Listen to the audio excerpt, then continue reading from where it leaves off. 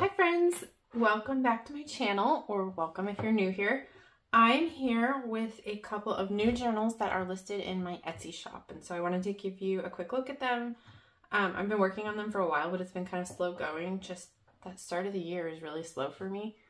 Um, but they're finally done, they're finally here, and I'm excited about them. So, they are both hardcover journals and covered with this different, really pretty vintage hankies. Um, so they've got one on the front and a different one on the back.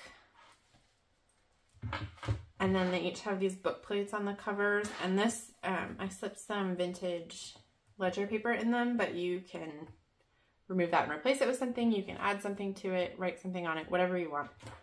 Um, they are five and a half inches wide, roughly, and then seven inches tall and they each have four signatures and so they each have 80 pages and they're um, the usual combination of you'll see I'll flip through real quick but you know lovely scrapbook papers vintage papers etc so I'll start with this one quick look. So it's got this really pretty spring hanky on the front and on the back.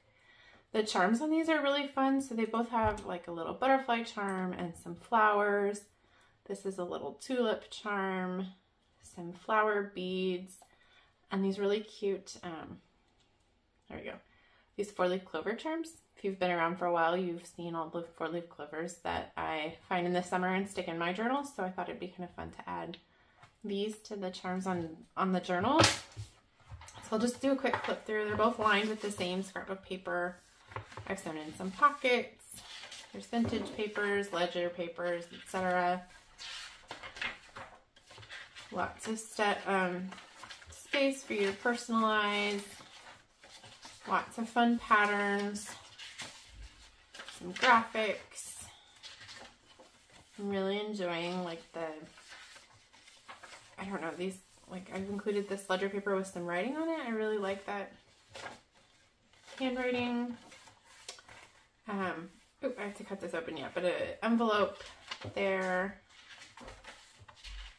cute little ducks and cows the other side of that envelope. Vintage like order form.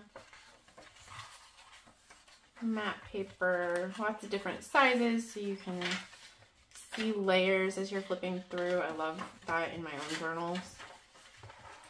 So there's that first one. And then I'll do a quick flip of this one. This one also has a butterfly, you know, the flower beads and charms the same. Same charms on this one. Lots of fun like spring colors.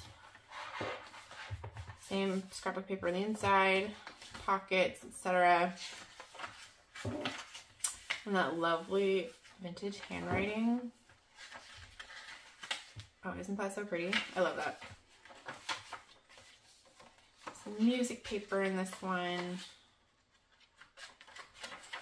Some more workbook papers, pretty florals, etc.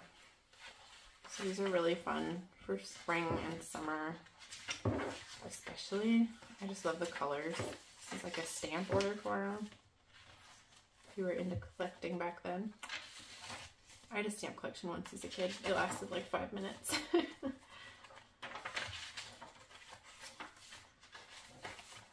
Another envelope. I need to cut that one open yet. There's the other side of it. Edith Holden illustrations, etc. So yeah, the spines on these are, I believe, an inch and a half. Is that right? Yep, a little over, like an inch and three quarters almost. Um, so yeah, both of these are currently available. Uh, and they are listed in my Etsy shop, which I'll link below. If you have any questions, um, you know, don't hesitate to leave a comment, shoot me an email, find me on Instagram, whatever you want. Um, and I will see you all again soon. Bye.